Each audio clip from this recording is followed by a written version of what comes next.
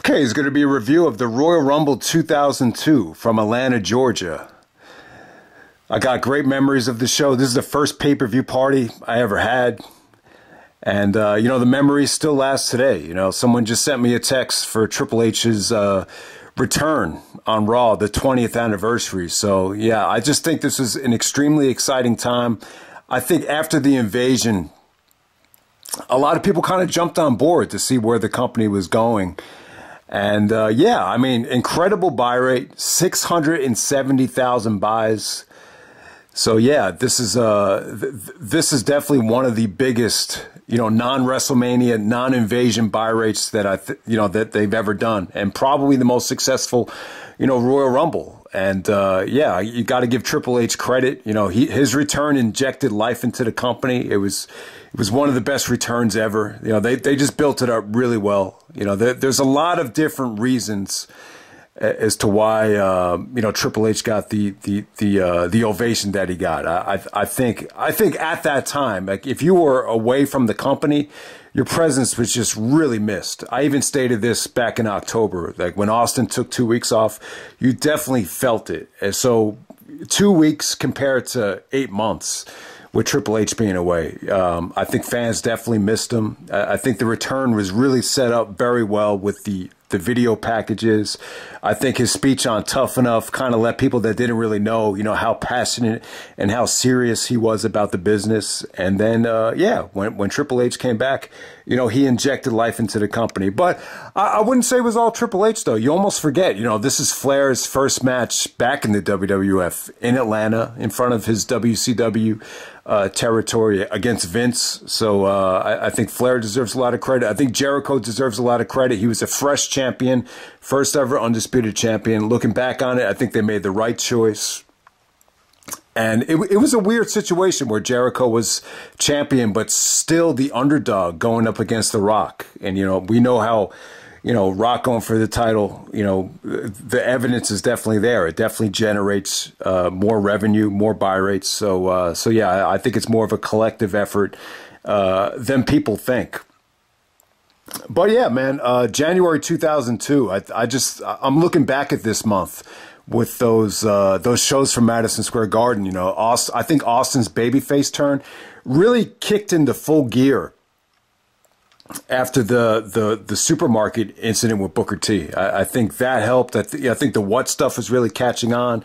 You know, Kurt Angle was kind of being the uh, paranoid paranoid heel with the what stuff, and you know, I thought Angle actually got some really really good heat when he interrupted Triple H's return, and and I think this Rumble too. Like when I look back on it, I don't know if you've ever had you know four of the greatest of all time all in their prime uh, you know, it could have went either way. I, I, don't think this Rumble was was as predictable as some people think it was. I think at the time it was it was a little bit more unpredictable because you didn't really know the severity of Triple H's injury. I, I think maybe there was some doubt that he would be able to perform in the main event of WrestleMania. So you still had you had Austin, you had Undertaker, you had Angle, you had Triple H. You know, four of the greatest of all times, all in their prime.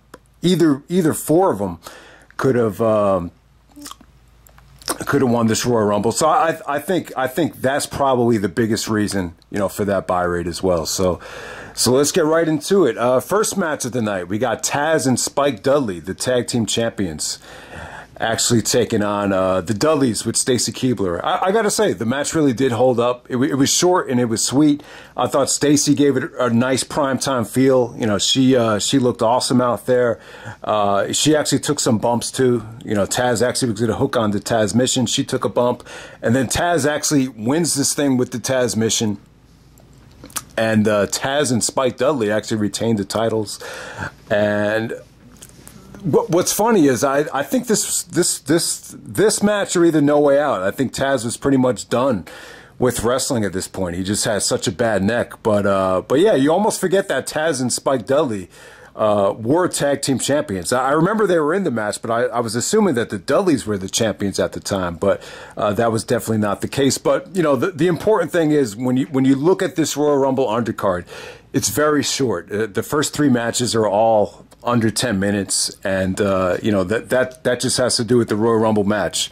They, uh, they they just wanted to save extra time for the Rumble. There was two minutes in between entrances. So this is actually the longest Rumble ever. It, it almost goes about 70 minutes. So and I do remember at the pay-per-view party this guy was like, "Oh man, this is the worst Rumble ever. Like, what's up with these finishes? Like, the like you had crappy finish after crappy finish to, to start the show." And so, looking back on it, I guess that would just explain it. You just wanted to save time, you know, for the actual Rumble. Okay, so next up for the Intercontinental Championship, you got William Regal uh, taking on Edge. So I think at the time, Edge is the IC champion. Uh, Regal's actually the challenger here, and yeah, I, you know what the, the the the styles here just didn't really mix. Um, when you look at the ending here, Edge actually spears the referee. You know, Regal takes the brass knucks and clocks Edge with it, and Regal actually wins with the brass knucks, and he cuts a promo saying that he believes in the power of the punch, or it was the power of the pump, punch that you know propelled him to victory. And um, so, yeah, I mean, there's a lot of different ways of looking at this. I, I was not a big fan of the Regal Edge.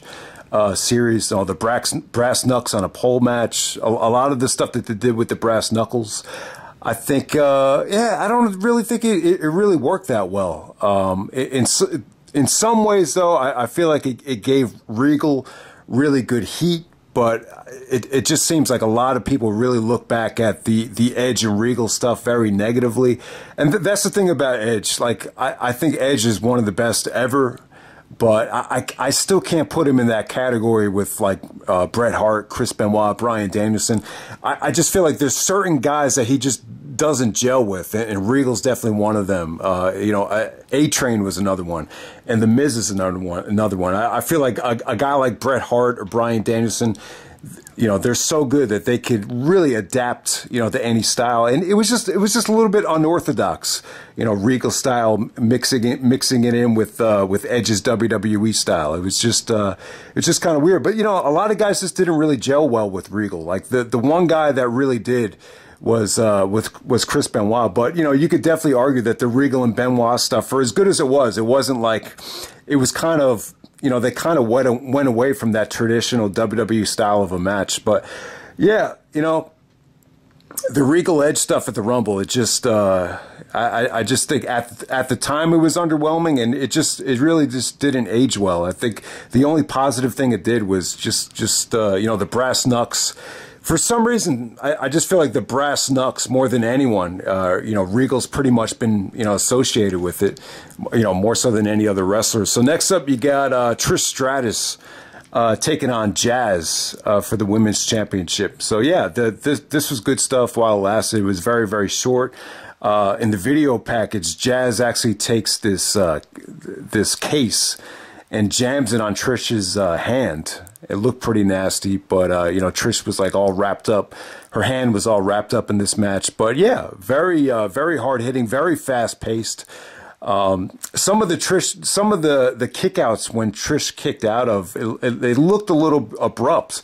But yeah, you know, very physical, and uh, for the amount of time that it went, they they did a lot of good stuff. Uh, Trish actually retains with a bulldog uh, out of nowhere. But uh, but yeah, I I thought you know Jazz uh, Jacqueline was actually the guest referee, but you know Jazz, Jazz really proved in this match that you know she was a good opponent for Trish.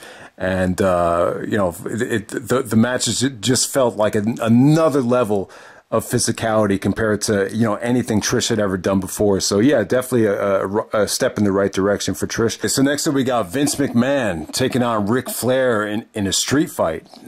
Okay, so Flair makes his return to the company. He's the co-owner of the uh, World Wrestling Federation after Shane and Stephanie sold their stock to the consortium. So you have that whole situation where Flair's the, the part owner and, and Vince is actually scratching his ear like he can't believe what he's hearing. It's one of the corniest uh, Vince McMahon facial expressions. But, uh, but yeah, I mean, this was... Um, this was definitely something to see. I mean, the uh, the the, the build up it seemed to go on forever. ultimately, this is the reason why Vince brought in the NWO from a storyline uh, a standpoint. You know, because you know he he couldn't you know coexist with Ric Flair, and if Flair is the owner, then he has to kill what he created.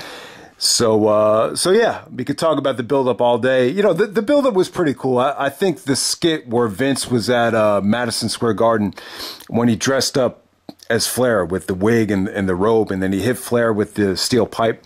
That was pretty good build-up right there. But yeah, I mean, the story of, of this match was Vince, though. Like, uh, Vince looked really jacked up. And it's, it's funny watching this match back after watching the, the Dark Side of the Ring, the, the steroid uh, scandal. But yeah, the bottom line was, uh, yeah, I don't think Vince ever, you know, looked more jacked up or celebrated his phys- physique more than he ever did in this match. I mean, it, it, was crazy. I mean, he was just every time he pushed Flair, he would just uh, pose, and so. and some of the facial expressions were just really laughable, really corny, it, it really over the top. Uh, you know, Vince's selling for some of Flair's chops were uh, really fun to see as well. So yeah, it was really fun it really is fun. If you if if you don't take Vince McMahon that serious and just kind of you know have fun with his matches, it, it was definitely something to see. and it was it was really really weird to see how yeah Vince played a good heel here. You know he really did control the, he really controlled the bulk of the match. You know, it really took uh, you know Flair's legs. You know, hit it against the ring post and uh, talking trash to uh, Flair's kids at ringside. I think it was actually Megan and Reid. They were actually at ringside. Uh, yeah, they had a photographer's camera, and uh, Megan actually almost dropped the camera when, when Vince kind of, you know, kind of nasty, nastily threw it back at her. But, uh, but yeah, it was good stuff. You know, Flair got the upper hand after he was bloodied up. Flair actually uh, got revenge on Vince and hit him with the the pipe again. Uh, this time to make Vince bleed, and when he locked on the figure four yeah, this had to be probably one of the most. Uh, yeah, I mean, th- this had to be one of the most over the top tap outs I've ever seen. So when Vince Vince tries to fight off the tap out, and he ends up tapping with both hands. It's like screaming like a baby. So, yeah, I mean, he sold it really well. The, the match was definitely a lot of fun, and uh, you know, Flair was really over, and it was definitely. Um, I, I wouldn't say Flair you know, look great or anything like that, but it, it was it was definitely a um, a, sign that his his his return to the WWF was actually going to go really well. And I, I think, yeah, I mean, it, it's when you look back on it though, like to to think that this was Flair's first big match back in the WWF. You know, he was old. I mean, th- this is two guys in their mid 50s going out there and putting on a match. And it was good for what it was. But I, I think at the time, you didn't realize like how how impactful Flair's return was going to be, especially on like the younger generation like like me that really didn't get to, get a chance to see Flair's work. Like the WWE really did a beautiful job of marketing Flair like he's one of the greatest of all time, a legend. Okay, next up we got Chris Jericho versus The Rock for the Undisputed Championship. So this is the third match of the trilogy that Jericho and The Rock had on pay-per-view. And uh, yeah, it was it was uh, this was definitely great storytelling uh, to go back to this again. And this this is a perfect example of um, promoting the champion as the underdog. And uh, you know the rock you know obviously it's well documented how successful you know the rock actually going for the championship has been in the past. So I, I think this was uh, definitely the right way to go. So the video package did not capture this but there was a couple of different you know, backstage segments where I think it was Austin, Undertaker, Kurt Angle, uh, Triple H, you know, they went up to The Rock and, and basically just told him, like, we expect you to win the championship. I just want to let you know I'm going to be facing you at WrestleMania after I win the Royal Rumble. So it was almost like a foregone conclusion that The Rock was going to win this match. And, um, you know, Rock was taking a shot at Jericho for calling himself the larger than life living legend. And The Rock was like, well, you don't know large. What The Rock was referring to is his size 14 boot. He's going to turn that some bitch sideways and stick it straight up your candy ass. And then Jericho's like, no, I am not a joke. I am serious and you won't look past me, you stupid son of a bitch. And The Rock was like, The Rock is not taking this as a joke, Chris Jericho. I'm taking you very seriously. If you smell what The Rock is cooking, and then bang. So that, that leads you to the, the, the match at the Royal Rumble. So yeah, very well built up. Uh, the, the promo and, and this match is definitely the highlight of uh, Jericho's undisputed championship reign. And uh, yeah, I thought this was great. I, I, I, would I would say the No Mercy match where Jericho won the WCW title. I still think that's the best of everything that they had. But you know, Rock and Jericho did not have a bad match. This match here at the Rumble, I, I thought it was great. Um, I, I, thought Rock looked like an Rock was definitely in his prime from um, from an in-ring standpoint, I don't think Rock ever looked better. I thought Jericho looked like a champion. I, I, you know, Jericho looked like he trained really hard on the weights, but he was still able to move really well in this match. So this was beautiful because, you know, even even though Jericho won the way he won, it, it, it made him look like he was, you know, the kind of champion that was very difficult to outsmart. You know, in, in a lot of ways, Jericho really opened the door up for you know this type of over the top, you know, cocky, uh, arrogant heel. Um, you know, talking about how the whole world revolves around him because he's the undisputed champion. But uh, but yeah, I mean, really, really good stuff here. Uh, I, I, just think Jericho is probably the the best at you know countering a lot of the Rock's offense. You know, some of the counters to the Rock bottoms are really, really just well laid out. Um, you know, Rock looked like he really got angry at Jericho for mocking the people's elbow. Jericho's about to do a, a rock bottom on the announce table. Rock actually counters it and rock bottoms Jericho from one table to the next through the announce table. I got to say that's probably the best rock bottom I've ever seen uh, through the Spanish announce table because you know it was, it was on one table and delivered onto the other one. So I thought that came off really cool. You know, Jericho had interference from uh, Christian and Lance Storm. Kind of, you know, it was kind of a temporary, you know, Canadian coalition type of stable, but it didn't really last so long. Jericho never really, you know, uh, officially entered the un-American uh, Canadian stable.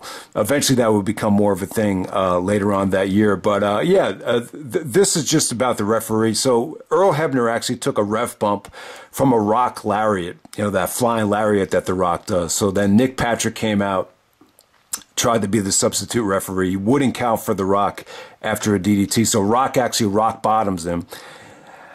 So after Rock actually hits the people's elbow on Jericho, he's trying to wake up Earl Hebner as that's going on, Jericho gives him a low blow, throws him into the exposed turnbuckle, and then rolls him up and gets his foot on the rope for the pinfall.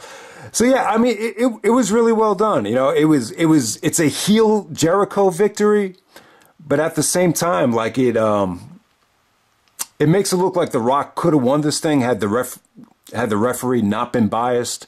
And it, in some ways, it just it, it was a satisfying finish, though. It, it was it was a satisfying heel finish for Jericho. It, it kind of made The Rock look like he was unselfish, a team player, uh, and I, I, think that's one of the great things about The Rock. I, I think it was reported that Meltzer said like th- there's never been a star as big as The Rock as as The Rock that's done as, as many jobs as The Rock has done. My take on it is, I just think like when you know, if if you're that if you're confident in your abilities, if you're confident enough to get yourself over, then you know doing a job for a guy like Jericho shouldn't be that big of a deal. And I think The Rock proved at WrestleMania that you know losing to Jericho here really didn't make a difference. So yeah, uh, great stuff between Rock and Jericho. Meltzer gave it four and a quarter stars. Uh, this is one case where I feel like he did not underrate the match. I definitely agree, four and a quarter. Not quite as good as the No Mercy match, but uh, yeah, this really kind of solidified Jericho and The Rock as you know one of the, you know so, some of the best chemistry uh, on the roster at this time. So yeah, really really good stuff. Awesome, awesome match right there. Okay, next up we got the Royal Rumble match.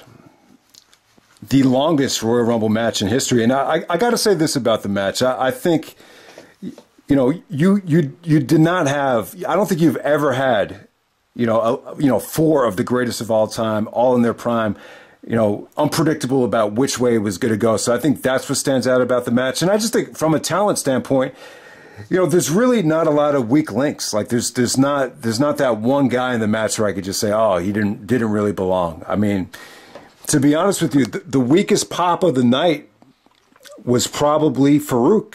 And and Farouk is a former champion in WCW. So and even in the beginning here, like the, the beginning, you know, the, the first ten entrants that was probably the weakest the match was.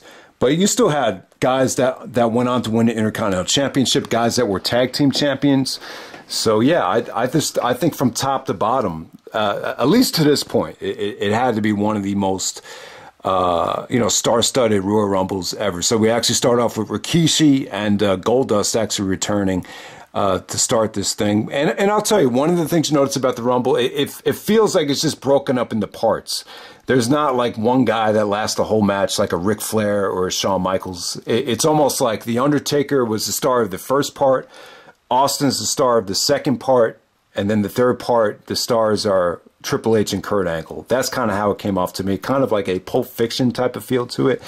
But uh, yeah, when Undertaker came out, came out to a great ovation, and that's the kind of that's that's what sucks about watching the show back on DVD. This DVD, it doesn't have the Kid Rock cocky theme song, and uh, you know if anyone watched the pay per view live, that that theme really fit well with this pay per view. And once again, Undertaker does not come out with the rolling rolling theme, so yeah, if, if anyone, uh, th- that's one of the great things about keeping the VHSs that we recorded live during the pay per view. You keep it because you you could you could definitely relive that that same music, that same feeling, like when Undertaker came out. Because Taker got a huge pop. He was awesome here. He was dominant. You know, Taker with the new look, with the haircut and the weight loss. Uh, you know, Undertaker really he he kind of I, I, think it was just foreshadowing that he was going to have a great year in 2002, and eventually he did win the undisputed championship. But yeah, uh, it, when when the Hardys came out, they worked really well with uh, Undertaker. You know, the Jeff and Matt. I, th- I, believe they had done some stuff with Taker after he turned heel, so they were trying to kind of get their revenge on him. After Taker eliminated the Hardys and Lita, they wouldn't leave the ring, and then the fans actually started booing. They didn't start booing the Hardys until they were until after they were eliminated because they wouldn't leave the ring. They they tried ganging up on Taker again, but you know they wanted to set up the whole Maven thing, so it definitely made sense. So Taker was like, "Get your ass on out of here!" And as he's yelling at the Hardys, Maven's already in the ring, drop kicks Taker over the top rope. So Maven eliminates the Undertaker. It was probably it was probably one of the most memorable things about the Rumble. Uh, I wouldn't say it was the most memorable thing, but you know, they, they, they used the Maven thing to do a lot of different things. They, they used the Maven thing to set up Rock and Undertaker because you know Rock cut this promo about how yeah we knew Jericho was going to win, but what a night for the Rumble! Maven eliminating the Undertaker. So Taker is like, well, who's who's the Rock to even bring up the fact that that Maven eliminated me? So it it jump started that. It also led to a Jericho and Maven uh, match because Maven was never technically eliminated from the Rumble. So remember that promo where Jericho's like, everyone wants to talk about Maven, poor little Maven, Maven, Maven, Maven. And then that was, I think, the, the match that Jericho had against Maven. That's the only clean victory I think Jericho had as undisputed champion. So it was cool. You know, Taker actually, uh, you know, took Maven up. You know, he was beating the crap out of him all over the arena. They actually went up to the popcorn vendor and, and he threw uh, Maven's head into the popcorn. Then Taker actually uh, pulled the George Whipple and started uh, actually chewing some of the popcorn. Remember that popcorn? Yum. So uh, yeah, Taker. Uh, yeah, so that's pretty much how Undertaker's night ended. And then you had uh, Christian and DDP kind of you know dominated the match until uh, Stone Cold Steve Austin came out. So Austin doesn't come out until uh, 19. So when I, I got to say this, this might sound kind of weird. But I think this is the biggest pop that Austin ever got for the Rumble because you got to remember in 1997, you know, he's you know he was still a heel and they still really didn't you know mix the song properly. In 1998, when he came out, he came out through the crowd because everybody in the ring was waiting for him, so they were they were looking at him. So you didn't really know where Austin was coming from. And then in 1999, you you knew he was going to be one of the first two guys to come out. So, uh, so, and then in 2001, when he came out, Triple H attacked him from behind before the fans really had a chance to digest that he came out. So, so yeah, I would actually say this is Austin's biggest pop. And, uh, yeah, I mean, he was awesome, man. You know, Austin looked in good shape. You know, the fans were behind him every step of the way. They, they chanted, what? Anytime he threw a punch or threw a kick, you know, he would, he was, he stunned Christian even after he got eliminated, brought him back into the ring. I thought Austin was a machine here, and in in some ways, it was uh, it almost felt like the fans really weren't ready, you know, to see Austin lose the Rumble. But you know, at the time, Austin had only, already won it three times. You know, you have you had seen him dominate the the, the championship scene the whole year. That you know, Triple H just came back, so.